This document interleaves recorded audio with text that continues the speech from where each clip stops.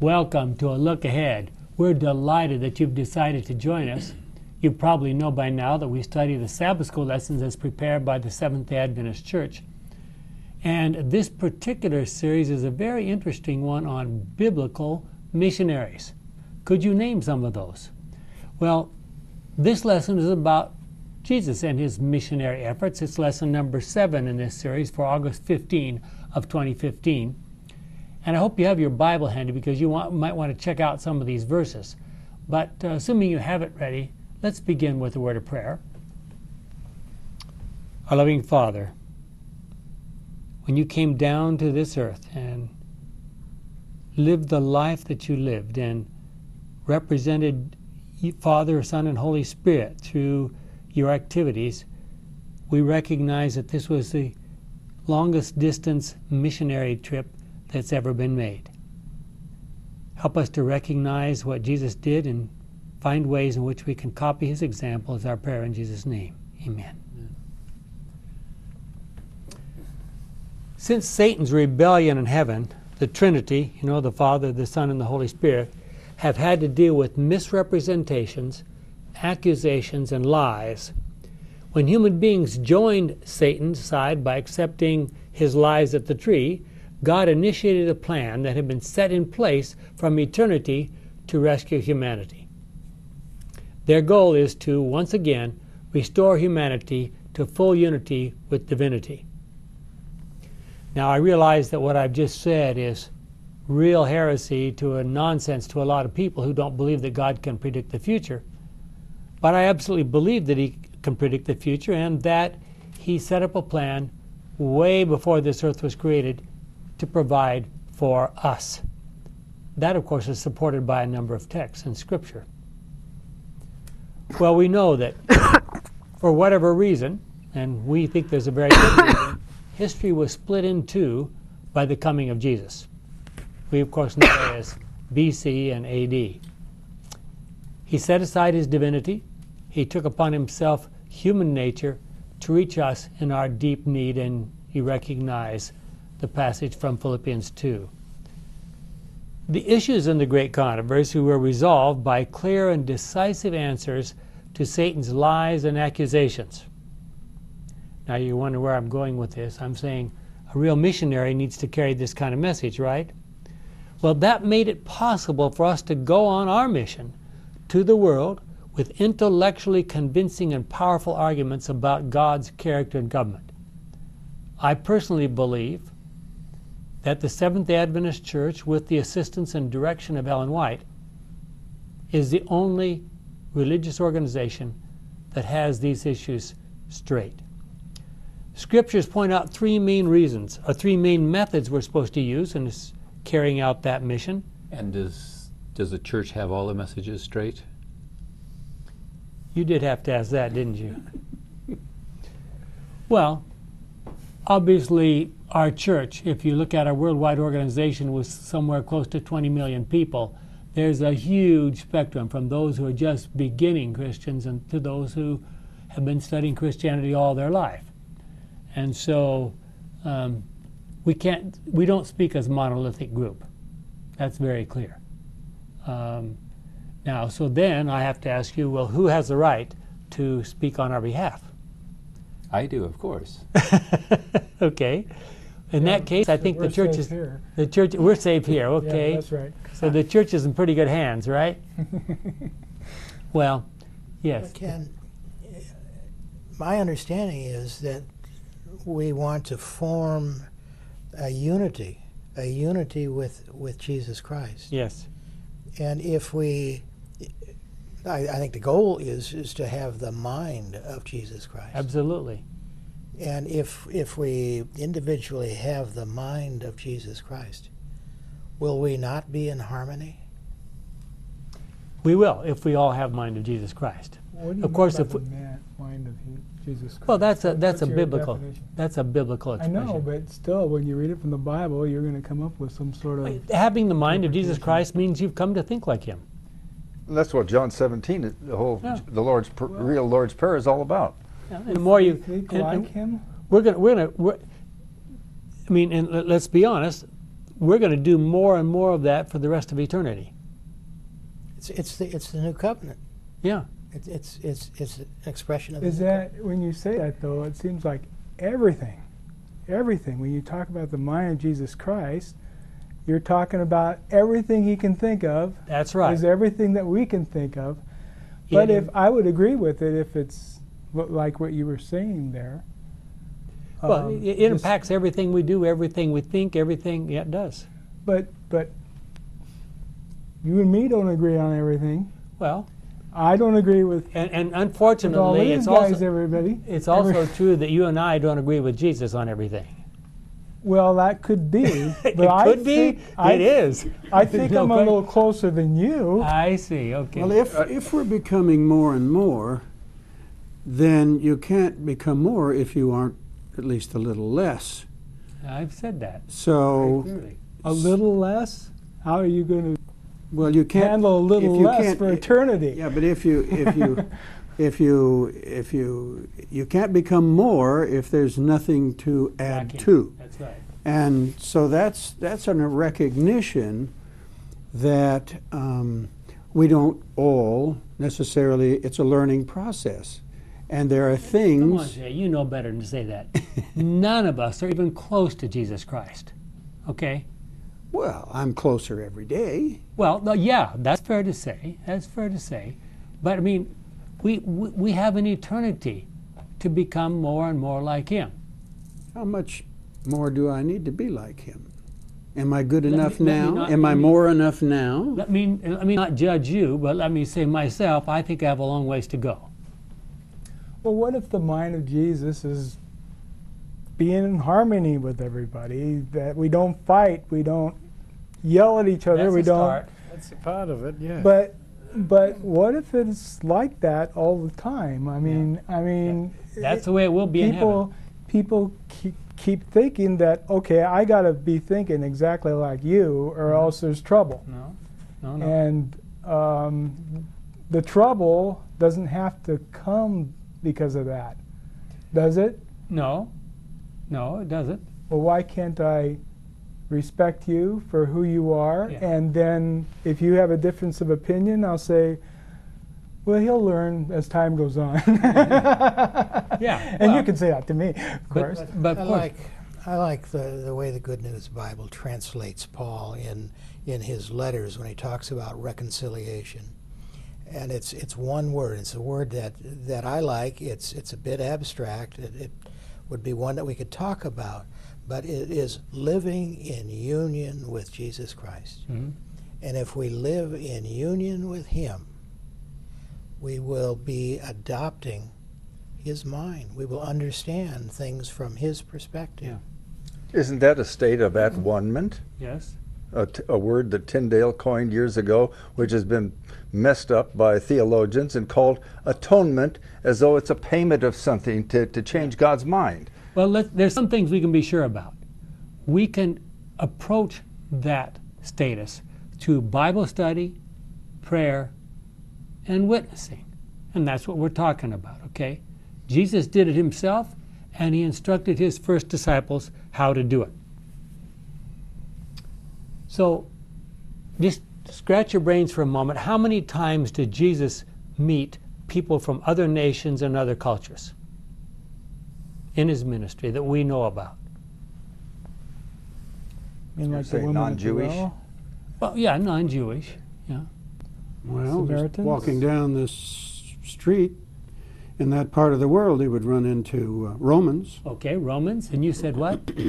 Uh, the woman at the well. The woman at the well. That's one. Who was a what Samaritan? The Samaritan. Yeah. The Pereans over across the. Okay. He spent the last six months of his life, more or less, across mostly most of the time across the river. Now over there, there were a number of Jews, but there were also a number of people who were Greek and other things like that. Up in Lebanon, wasn't he up there? Yeah, the Canaanite woman. Yeah. Yeah, exactly. So we know, and and one of my favorite stories is the the two demoniacs in Gadara. Mm-hmm. Uh, we're not sure what where Gadara is, and it goes by different names, but you know that story. And and he spent how, not many hours with them, did he? No, he spent And a very short period of time. But what's interesting about that, and you're blowing my story here, but what's interesting about that is he spent a short time with them. He said, Go back and tell what the Lord has done for you. He came back about, I should try to calculate exactly, it's a few months later. I don't know exactly how many months later. And the whole place came out to see him. And he preached to them for three months. And at, I mean, not three months, I'm sorry, three days. And he, um, at the end of that time, he says, These people are going to faint on the way home. we got to feed them. He's fed, he fed four, 5,000 men, not counting women and children, because of the witness of one or possibly two. Matthew says two, the others say one. That's- Amazing I- what truth can do, what the Yeah. impact of truth on a receptive mind can Yeah. accomplish. Well, what about the Old Testament? Can you think of times when God talks about um, mission and reaching out and about the Messiah, what he might do in the Old Testament? Jonah and Nineveh. Okay, Jonah. That's an interesting one. Okay. Genesis 3:15 is one of the famous ones. You're going to bruise the serpent's head. Uh, Isaiah 7:14. What's Isaiah 7:14 say? Well, you know how it's translated in the King James because of the influence of Matthew 1. A virgin shall conceive and give birth to. That's not what Isaiah says, but that's the way they interpret it in the New Testament. Isaiah 42, Isaiah 53, Isaiah 61. There's a lot of messianic stuff in Isaiah.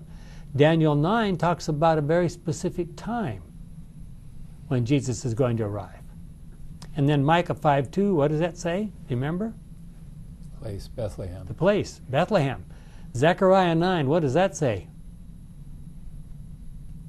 I'm getting I'm, I'm, I'm really asking you to scratch your brains now. This is the place where it says he's going to come riding on a colt, full of a donkey. Well, to summarize, just if you put all those verses together and you sort of look at what does it say, it teaches that he's going to lift up the oppressed. He's come he's going to come at exactly the time prophesied about him. He's going to forgive sin. He's going to establish justice. See, I put all these verses together. He's going to fulfill vision and prophecy. He's going to rededicate the temple. What would that mean? Would that mean he's going to cleanse the temple, maybe? Try to suggest it should be used for the right thing? He will come down to be with us. He will set people free. He will open the eyes of the blind. He will bring light to the nations. He will crush the head of the serpent by revealing the truth. And that's just the beginning.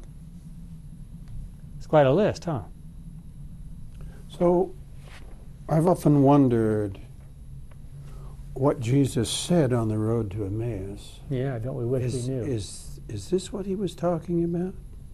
Is this some examples of Straight you out of the. Or you remember he was going to come and heal the sick and raise the dead and, and so on and so forth, cleanse the temple. I mean, I just put together a preliminary list of mm. stuff that I quoted from those very verses that are mentioned there. Yeah. so, the creator of the universe chose to identify with us so much that he took upon himself humanity, and he's never going to give that up in order to answer the issues and the great controversy with irrefutable evidence. We can choose to let God help us to live the kind of life He lived, or we will die the kind of death He died. Those, that's our choice. Well, even in the Old Testament, there are passages suggesting that the gospel was supposed to go to the Jews only? No, to the entire world. But with the coming of Jesus, even in connection with his birth and dedication, the focus of God was to carry the gospel from the base, and what would the base be? The Jewish nation. It was that's what it was supposed to be. By the way, were the Jewish nation ever told that they were supposed to carry the gospel to the world? Hmm. Yeah. When they came to Palestine, what were they supposed to do there? Yeah, be in the center of commerce and where everybody moved through and evangelize. Yeah. Initially, they were supposed to drive everyone out, weren't they? Well, the no, the bees were supposed to drive, or the hornets were supposed to drive everybody out, and then they were supposed to evangelize them. That's what Exodus 23. Read it for yourself. That's what it says. Unfortunately, things changed dramatically before the end of those 40 years. Well, the I- focus. I, I've been amazed going through the Old Testament how many times it said, you know, to people of the whole of all nations, or a paraphrasing of that. Yeah, You know, it, and we just overlook that. yeah. We just read right past it. Yeah. Yeah, right over it.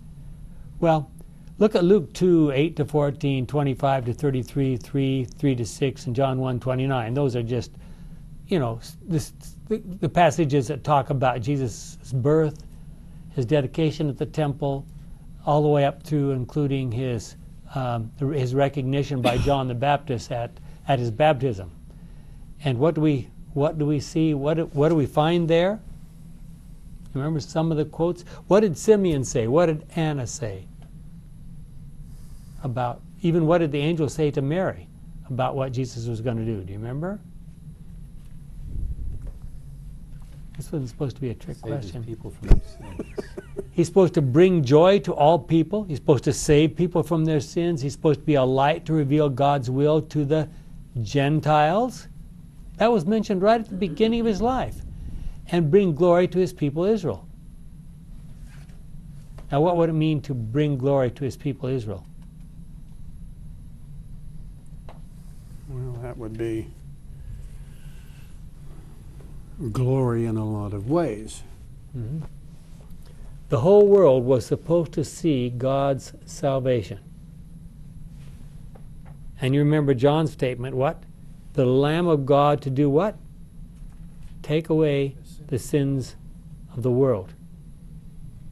Do you think anybody there listening that day had any idea that he was talking about the whole world? No. Probably not. Probably not. Their idea of the whole world that, uh, that God was supposed to reach out to was what? The Jewish nation, right? Judea anyway, may, and maybe up to Galilee, but maybe not. And how did they, what did they perceive that that meant, the taking away of the sins of? Well, they had an elaborate system at the temple for taking away sins. You come and you confess your sins over the lamb, and the, his throat is cut, and they collect the blood, and they go through that whole process. And here's a here's a human lamb. I don't know whether they thought that he was going to actually be sacrificed at the altar in Jerusalem. I don't know what they thought about that part, but they had they had a way of they knew about a way of taking away sins. So, well, since this is a lesson about mission, are we to have the same mission that Jesus? Could you describe the mission of Jesus first of all? Could you, in a one or two sentences, say, "This was the mission of Jesus"? Jesus said what his mission was just when he was there at the Garden of Gethsemane. Hmm. Says, I've accomplished the work you gave me to do. I've made known your character. And Says you've the seen- character of the Father. the He says, You've God. seen me, you've seen the Father. Yeah. And he was also known as Almighty God. So, So that would mean the mission is to reveal the character of God. Yeah. Well, That's not the- what.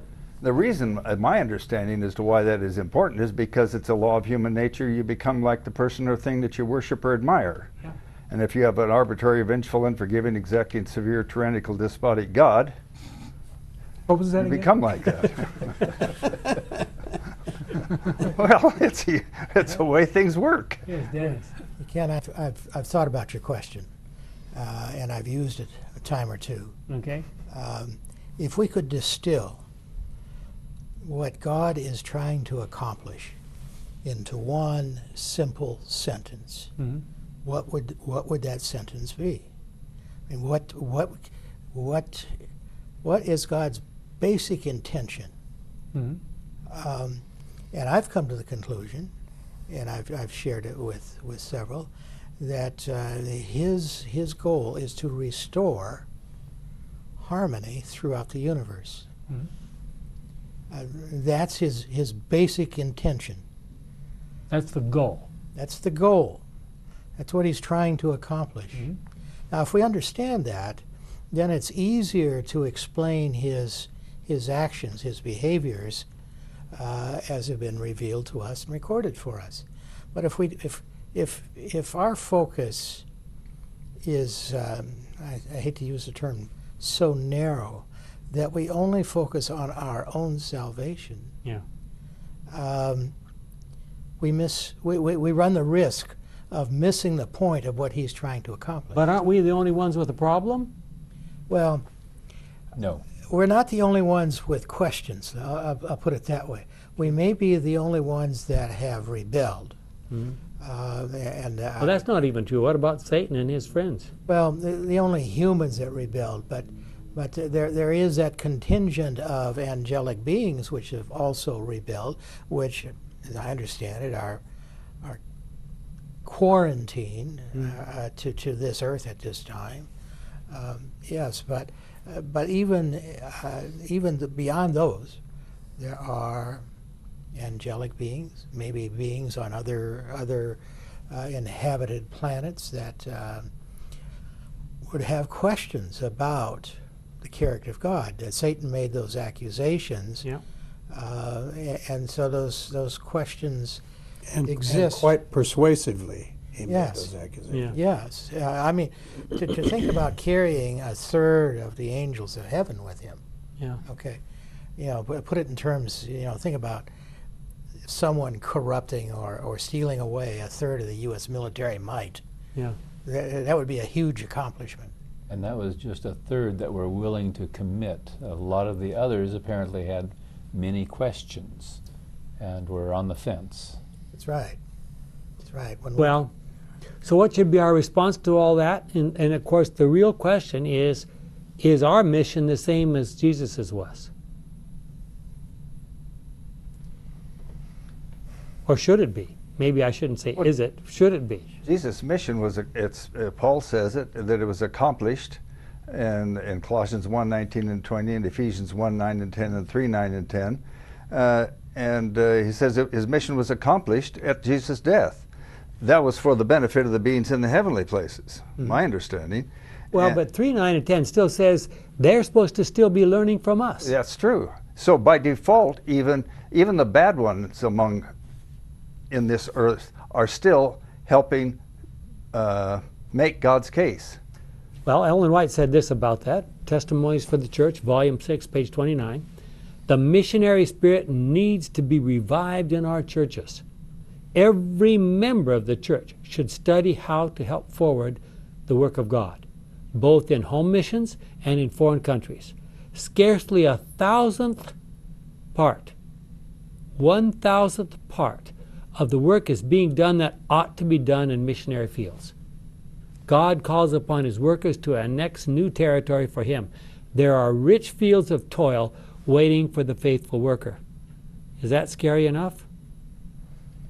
I don't quite understand it. Well, she, of course, was writing from, from Australia at that point in time.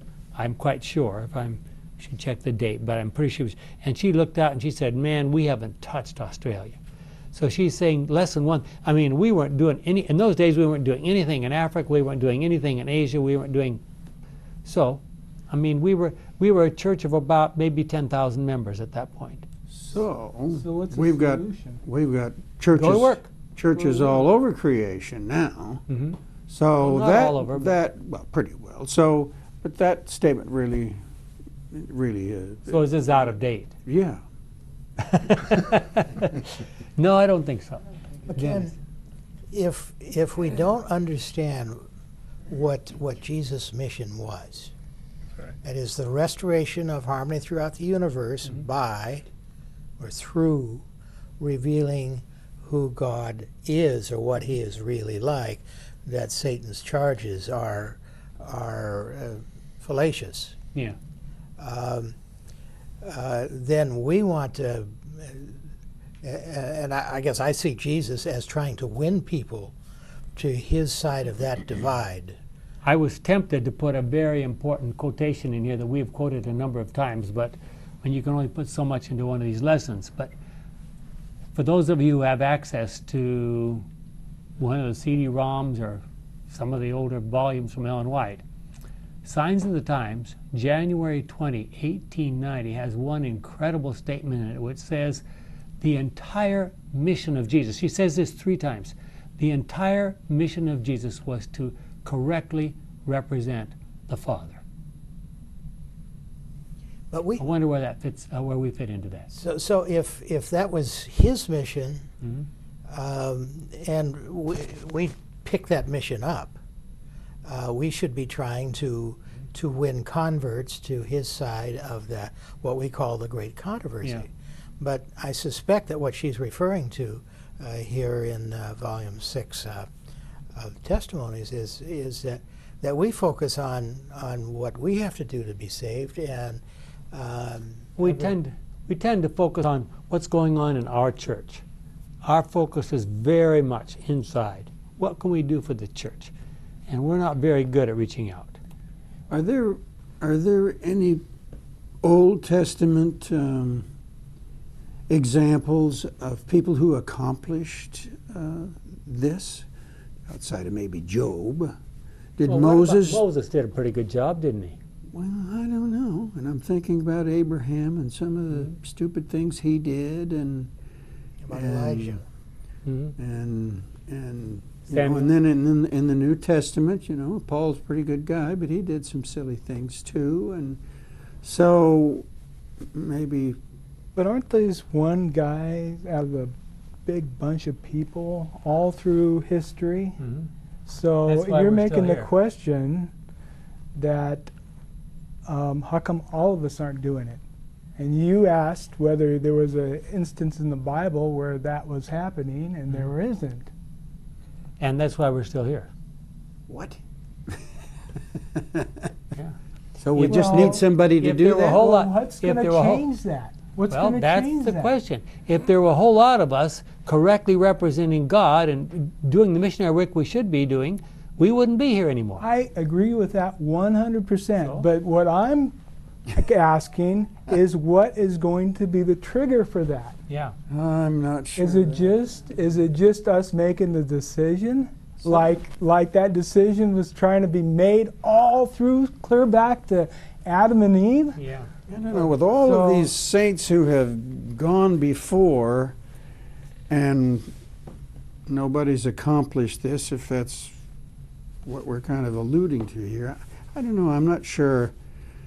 There's some there. There's some question marks around that concept that I have. I, I don't know. Well- Gary, I would answer your, your, your question uh, by saying it'll never happen. It'll never happen. Well, And the evidence. What is he looking for? the Well, but evidence. Ken says that's going to happen. yes, well, Dennis is not done with his comment yet. yeah. Um, Now we've got to have review. harmony here, so Oh, don't. yes, yes. well, it, it, the we, we don't end up with harmony in this life. Uh, l- look at Matthew 25. Yeah. The, the, the, the church, and who, who, who are the, the ten women that Jesus was referring to, uh, represented in his parable? Um, they, they're certainly not the heathen. The heathen were not looking for uh, the return of the bridegroom. And uh, the false churches, it, it really can't represent false churches because false churches are represented by impure women. hmm So this is pure women, right? Virgins that he's talking about waiting for the bridegroom. And half of them um, don't. All of them were asleep. all of them were asleep, but only half of them seem to have made the grade. Well, why 10? 10 is a number of completeness. Mhm. So, my understanding of that parable is that when Jesus returns, he will find his church asleep, and only half of his entire congregation will be prepared. That is, Yeah. it will never happen. And and uh, we, we have a uh, Revelation three, same thing. Yeah. Well, there was one thing, one time when something happened to make a whole bunch of people go out. That was Pentecost. Yeah. So maybe we are looking for Pentecost to happen. Well, we are. Well, um, says do you have the the switch to switch that? No, the Holy Spirit has that switch. Yeah, but there were there were people. They went there, waiting Mhm. for. They were there waiting. They were there praying. Yes, Well, they- I'd- I'd like- They were there for that purpose. I'd like to do something a little bit unusual here. I'd like to take you just real briefly through the history of Christ's ministry, chronologically. Many people haven't followed this. The verses are there, but let's just say his early ministry, from his baptism to the Cana wedding, happened between autumn of AD 27 and, and the spring of AD 28, six months. We know almost nothing about what happened during that time. Then there was a year of his ministry in Judea, from the first Passover to his, rejection by the Sanhedrin at the second Passover, from spring of AD 28 to the spring of AD 29. Now think about what's happening here. At, the, at that point in time, John the Baptist is arrested. They're already trying to figure out how to arrest Jesus, and Jesus says, It's time for me to move to Galilee.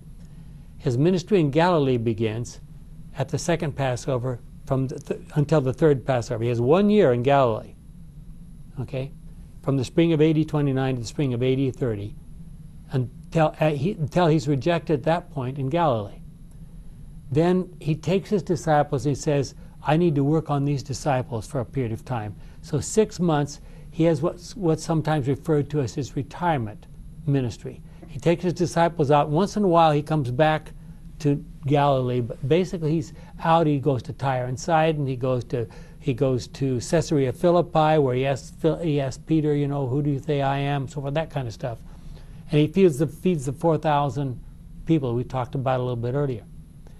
Then, in his last six months, he has a mission to Sam- Samaria and Perea from the autumn of AD 30 to the spring of AD 31. Now, why? And then, of course, there's Passion Week. Think about the sequence Judea, Galilee, out there, over there, and then finish. Why do you think it happened in that sequence? I suspect he made a lot of enemies. He did. A lot of people weren't happy about the things he was saying. And it became, literally, it became, I mean, apart from miraculously protecting himself, he, he, they wanted to arrest him and kill him. And what was he saying that irritated them so much? Because he was certainly, a lot of people were following him Yes. and rejoicing at what he was saying. And that's why they couldn't arrest him. He would go to Jerusalem, he would go into the temple, and there were so many people who wanted to hear him that they didn't dare arrest him in front of all those people. and, you know, they must have been incredibly frustrated. But you ask why, and uh, I think a, a clear insight as to the why is uh, uh, found in the story of um, his rejection at Nazareth. You know, he quotes he quotes Isaiah, hmm and he just stops short of the promise that they, they, they hung on to. It's what he said afterwards uh, that, that you have pointed out that is, is, is so strong, uh, so, so inflammatory, so in your face. Uh, you know, it's uh, during Elijah's, uh, you know, drought. Uh, it, uh, it was, it was uh, a Gentile that uh, was blessed by God hmm and uh, you know the history of Naaman. It, it was again a Gentile. It wasn't. It, it wasn't a Hebrew that received God's blessings, and that was like pouring gasoline on fire. Yeah. Well, Now, why did Jesus do that since he was bright enough and had the insight with the Holy Spirit to know what the response would be? And I'm not wanting to to cast uh, uh, dispersions on this this concept of harmony, but what we're seeing here is some disharmony. Didn't Jesus say, I came to bring not peace but a sword? Uh, and his effort to to bring about some harmony, there is some consequential disharmony. And at the beginning, in his early ministry, well, in his early ministry in Galilee, he told his disciples, I want you to go out and speak only to the lost sheep of the house of Israel. And he told them that you can do what? Do you remember? Heal the sick, cleanse the lepers, raise the dead. Can we do that? And I guess If you can, let me know. I guess what I'm sure we can. I guess what my thrust here is that is that when I take your concept of, of harmony, and I like it, I really like the way you synthesize things there. Just because as I'm seeking harmony, I may run into some disharmony. That doesn't mean necessarily that I'm doing the wrong thing. Yeah. But, but let me be clear. Harmony will not be restored On this. until earth. after mm-hmm. the third coming. Yeah. At that point, harmony will be restored. But that's the goal. That's what. That's the objective. That's what what God is after. And just as as that was Jesus' goal as he performed his ministry, that's my ultimate goal as well as I perform my ministry. That's how I understand it. So, how well are our churches and our Sabbath schools doing at um, this kind of mission? And unfortunately, it's so easy to get wrapped up in programs that involve us. We're busy. I'm, you know, we're doing things. We're teaching Sabbath school classes, and we're holding. Sa- um, we're, we're standing up in front, and we're singing special music, and we're doing all those things. I want to go back to healing the sick and raising the dead and all Okay. of that stuff. And you ask, could we do that? And and evidently, we can do that hmm because we've been. I mean, that's the directive is to go do that, and I don't think it was just to Peter and Paul. Um, but when when is that? When does that happen? Um, you know, I've been thinking a lot of the miracles that Jesus did, they were kind of like the demoniacs you mentioned earlier. Those are pretty desperate circumstances. It seemed like when miracles occur, a lot of times when miracles occur, there was there was uh, some out of the normal circumstances which it was necessary in order to do these things in order to accomplish accomplish the goal. Well, So If I can interrupt for just a second. If you look at the Bible carefully, there are three times when there's a lot of miracles happen in the Bible. There were all times when the truth about God, when the when the real witness about God, the understanding of God was at almost all-time lows. Right, yeah, yeah. So there could be two answers in response to your the in, the intimated question there.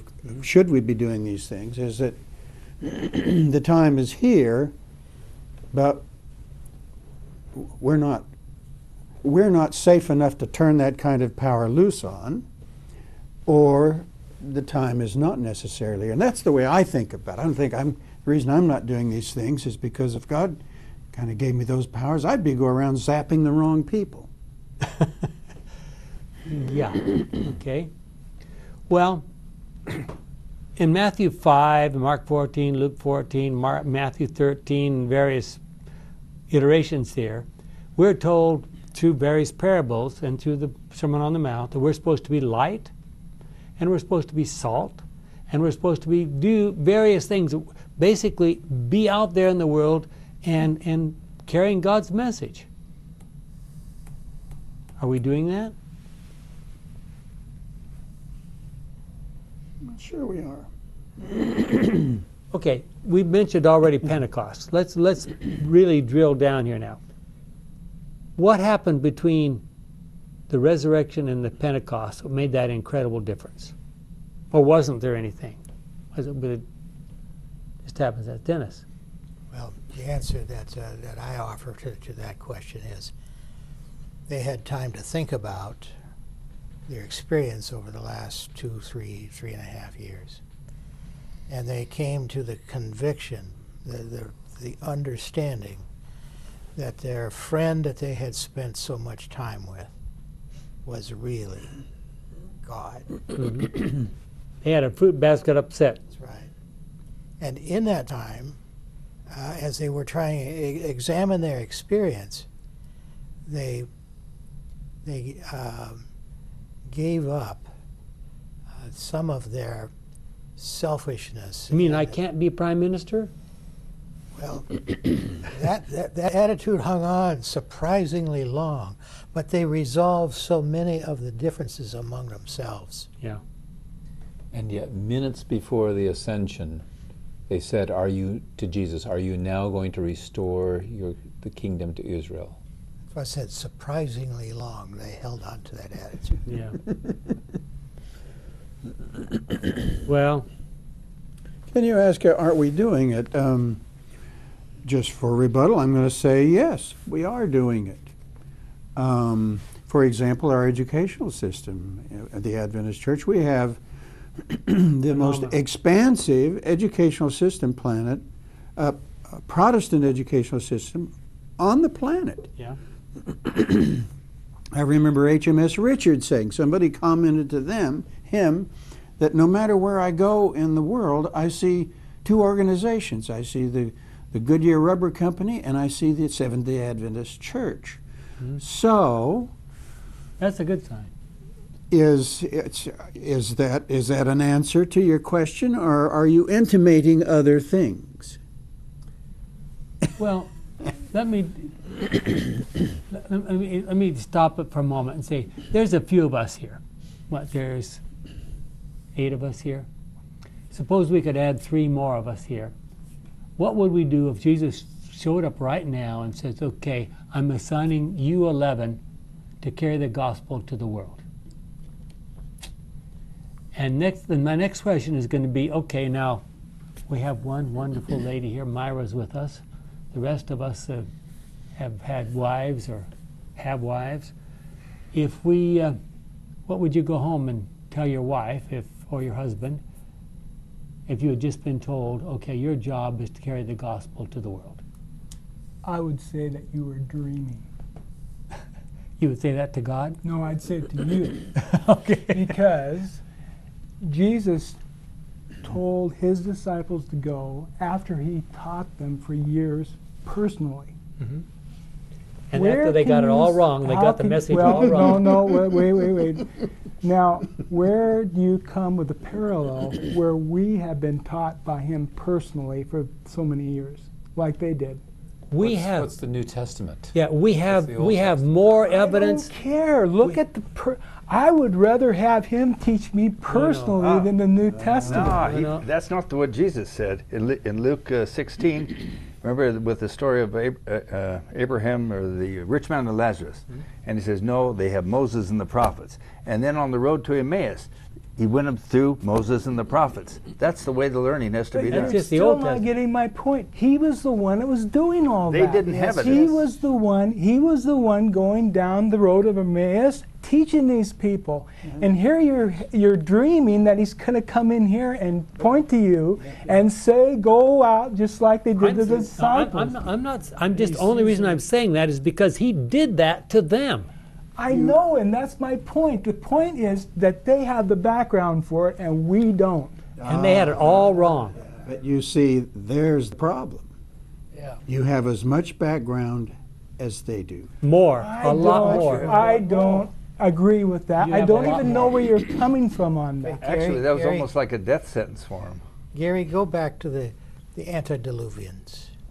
We read Ellen White that, that God Himself came down and talked with Adam and Eve, that God Himself came down and talked personally with those who feared God.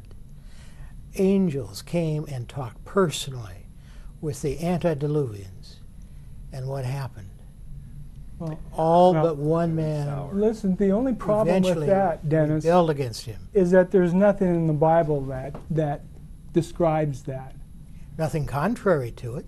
Nothing contrary, but there's all kinds Well, of no. other possibilities too. Your, your statement But is not now correct. we've he, he got- did that with we've got- Abraham. He, we know he just he walked up to Abraham's house and Abraham says, "Stop by yeah, and have but a meal." look at look at all the stuff And that Job, these look at Job. disciples went through. They went through years being with him. They they saw his miracles. They they experienced him being crucified on the cross Mm-hmm. and being resurrected again. Where in any history did that happen? right there. Yeah, right there. But I'm saying anywhere else. Do you Because you, need, are need to have saying that Jesus is going to come in the door and order us to go like, I'm like just saying- those disciples did. I'm just saying, do you need to have one of your friends crucified in order before, before you go out? Well, You want me to volunteer? why? I'm not saying that. I'm not saying that. I am saying that they they experience something far beyond what And- we've and ever what- experienced. And what God is saying, I and Jesus Himself says, you know, I don't need to be with you. You're better off if I send you right. my my word and the Holy Spirit. You're better off than these people who have had me right beside them all their lives. Okay, if that's unless you're gonna unless you're gonna disagree with Jesus. No, no, no. I'm not going to disagree with Jesus. I'm just saying, has has that happened yet? Mm-hmm. Has that happened yet? Well, it's happened in a few lives, but it hasn't happened on a large scale, and that's what we're talking about. It needs to happen on a on a larger scale. Again, there's, there's, there's one thing you've, I, I believe you've left out of your Okay. par- parable here. Please. Okay. Back then, yeah, uh, uh, apostolic church, it became very uncomfortable for them to stay where they were. Mhm. They were they were motivated. They were really motivated to leave. And when they left, they had something to share. they were very motivated. And I can tell you, Paul says very clearly, if we were living lives like Jesus Christ, we would be persecuted today. That worries me a great deal. Mm-hmm. That's what's going to change the whole Yeah. thing is persecution. Well, Matthew 24 14, yes? I have uh, a concern with what Gary's saying because I understand what he's saying, but the disciples made a choice. Jesus asked them if they wanted to come along, and they made the choice to join him. He's asking us to make that same choice. If we were to follow him and, and study all that he's given to us, would we not have the same information as what they lived and didn't see? Do you think so? I do. Well, and Okay. also, if we went out preaching what we think we ought to be preaching, wouldn't that bring about persecution? Very likely. So it's kind of a, a circular, a circular situation. Well, and it's going to happen someday. and I'd like to see it happen in our day. I think it's closer than we think. I got a letter, a non-Adventist business update through the mail very recently, and quite plainly it says right there, the First Amendment, as we've understood it and live with it in America, is finished, not coming. It says it's finished. Mm-hmm. And when you look at, and you brought this up in your classes here and there, when you look at some of the stuff that's happened very recently in some of the major courts, when that finally goes and then they drop Sunday in the middle of that, Mm-hmm. it's going to start like you'll never believe. Yeah. Well, we know, uh, unless you absolutely deny the Word of God, that the second coming is coming. So we're not supposed to set dates. Please, let's not even think about doing that. Uh, how would you compare the obstacles which the early apostles met when trying to spread the gospel with the obstacles we face today? Gary, here's your question. With the obstacles? Yeah. What I mean, they went out with nothing. And, and they said, Jesus said, I want you to go to the world, and if you don't go, I'll send persecution. And finally, they, after three and a half years, the persecution descended upon them with violence. And they said, well, I guess we better go. Well, you got to remember that there was Pentecost. Yeah. The They d- they Spirit didn't- came down in Yeah. a roar. Three and, it took them three and a half years before they moved, and they moved only when there was persecution. Well, you mean That's what- after after the Pentecost, but then everything died down until they. No, no they were doing I think things. the Pentecost made the persecution blow it up, blow up their situation, well, and that's what made them f- go all over the place. what made the, the Spirit started then, Yeah. and it's it's it's something that we're not seeing today yet. And you can't just generate it by just going saying, "Okay, I'm going to leave today and go out to Africa Mm-hmm. and do my part." Well, it's good to do that. There's, don't get me wrong about that. But I think the thing that's going to come to really end things is going to be this rain that we have no control over it coming. And God's going to send it when it comes. Okay, let's be very honest. You look at the biblical record, what happened was they stoned Stephen. Mhm. And Paul says, okay, we're going to get rid of these people. And he went out from door to door trying to identify Christians and saying, okay, who are we going to kill? Who are we going to arrest? And so forth, like that. That's what caused the explosion, not Pentecost. You don't think that the spirit that came to Stephen in the first place, it got them all riled up in the first place? It has nothing to do with it?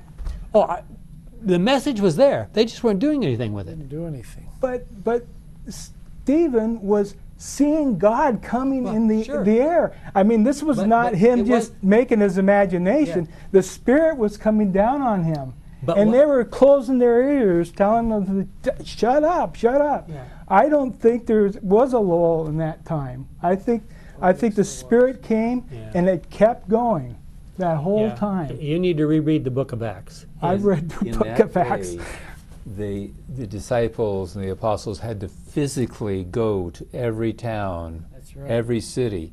We have a tool, a weapon called the internet, which ISIS is using for terrible things, mm-hmm. Yes. but we can use it for good. Yeah. The thing that the, the thing that I We can go everywhere. Hmm? There's a there's a lot that we aren't told in the Bible. If you look in Josephus and some of the other relevant, provable history of Christ's time, Mm. before he was there, there were other messiahs that came and went, and Rome started to get a bit itchy over that. And Christ warned them that the temple was going to be laid flat and what have you. Rome put up with a tremendous amount of irritability, shall I say, from the Jewish nation as it then was. And it got to the point they said, thus far and no further, and they clobbered them. That's when the disciples started to move out. So, they had had to. nothing to do with the Spirit. I didn't say that. No. They had Well- had it, but they hadn't moved. He's right. Yeah. And you can read it in the history. Rome did, they laid back trying to put Well, up with this I stuff. And then the they said it's got to go. If the Spirit was there, I probably wouldn't move either unless something pushed me. Well, that's what's going to happen. Even if the Spirit was there anyway. Yes. I know several people who are who are waiting for the Spirit. They're looking for an experience. Um, Now, I didn't say that. I didn't say that. No, but he's Okay. saying he knows people like Okay, that. okay, but you're not you're not paralleling what I'm saying. But go ahead. okay, uh, and, and so they're, they're looking for uh, a personal outpouring of the Spirit. Uh, they want to be personally touched. Um, they they would like to to invoke the the latter rain, the Holy Spirit. But I suspect two things. I suspect that God will not pour out His Spirit on us until we are prepared to represent Him like He would like to be represented. Right. And secondly, He can't secondly, bless us to, to say the wrong things about him. that's right. And secondly, the Spirit is being poured out today. People in modern times, in our lifetime, are raising through the Spirit people to life. Yeah. So what are we waiting for? Mhm. The, the Spirit is available.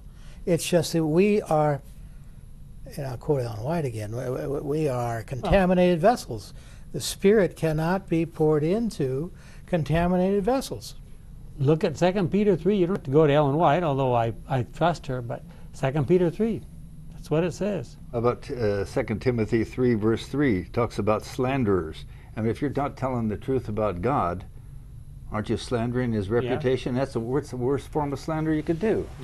So how do you become an un, an uncontaminated vessel? Well, that's where back to the Bible study, prayer, and witnessing. And you, some people would say, well, I, Bible study and prayer, I understand. What's the witnessing have to do with it? And I'll tell you, there's a very specific answer to that. If you want to know whether you understand, just let me take, for example, any given doctrine within the church. Sit down and try to explain it to someone else. That's what the witnessing is about. You will not get the message clearly until you have to try to explain it to somebody else. So the witnessing, it's important for those people out there. it's even more important for us. We need to say, I mean, I will bet that if you take the average Adventist and say, explain to me doctrine X, they'll go, the, the, the, well, I believe. I'm less concerned about what you believe. I'm more concerned about how you support your Yeah. belief.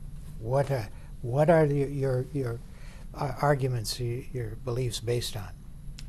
Ellen White said, and I quote, this is from Ministry of Healing, page 143 Christ's method alone will give true success in reaching the people. The Savior mingled with men as one who desired their good. He showed his sympathy for them, ministered to their needs, and won their confidence. Then he bade them, Follow me. There is need of coming close to the people by personal effort. If less time were given to sermonizing and more time were spent in personal ministry, greater results would be seen. What do you suppose that means? Get out amongst it. Preachers should talk less and do more. Preachers. Hey, now just a minute here. You and me. Heading for a pothole there. Jesus clearly did not just preach his message to people, he lived it. He ministered to every need that he saw. When the right time comes, we can promise people what Jesus promised them complete healing, physically, mentally, socially, emotionally, and spiritually. And when will that happen? At the second coming. It may not be right now, some will be healed right now, but for those who accept Him into their lives, the results are absolute. As they would conquer another territory, the Romans would send in, a, in with the general and his troops a legate. What's a legate? It was the legate's responsibility to arrange peace terms, to determine boundaries, to draw up constitutional provisions. His goal was to bring them into the family of the Roman Empire. Could we do such a thing in our day? What kind of terms would you draw up for bringing someone into the gospel? Are we capable of bringing people into the family of God? Or is that the work of the Holy Spirit only? What would Jesus want us to do? If we were sent out, and Gary's not going to like this, if we were sent out, just said, go, spread the word, gospel to the world, what would we do? And my friends, what would you do? Our kind and loving Father, we thank you for the opportunity we have to speak about you and to discuss these terms of the gospel.